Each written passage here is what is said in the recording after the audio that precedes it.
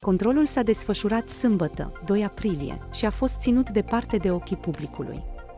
Șeful poliției orașului Deta, cu acceptul conducerii PJ Timiș, a dat alarma în unitate și a chemat din timpul liber toți polițiștii care își desfășoară activitatea în cadrul instituției.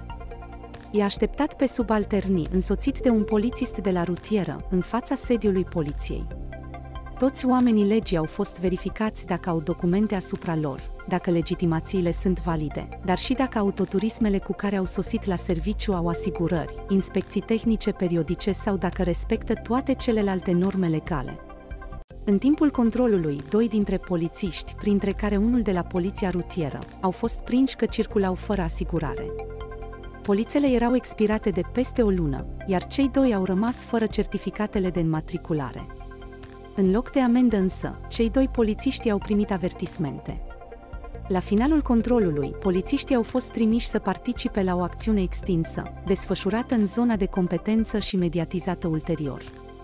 Contactați de reporterii Tion, reprezentanții PJ Timiș nu au dorit să comenteze acțiunea cu caracter intern.